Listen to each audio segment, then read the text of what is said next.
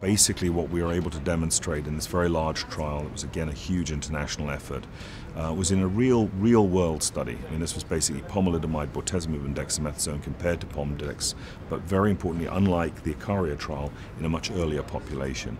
And again, we were targeting the lenalidomide refractory population, so those patients in whom lenalidomide had failed them. And when we looked into these uh, specific groups, we saw that in len refractory patients, after one line of prior therapy, we were able to demonstrate that they enjoyed progression-free survivals in excess of 18 months, which is really very encouraging. Overall, it was around 20 months, and for this particular group, it was around 17 to 18 months to be precise. But my point simply is that that simple three-drug platform outperformed the control group, which was bortezomib and dexamethasone, and gained really exciting PFS data um, that suggests that this is a very viable platform going forward.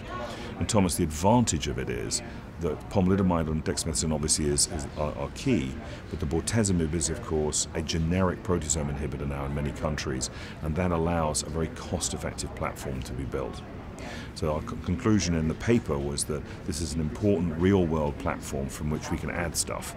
So for example, if we wanted to add to this daratumumab, for example, that would be a great platform. And in fact, to that end, we're doing a trial just looking at exactly that.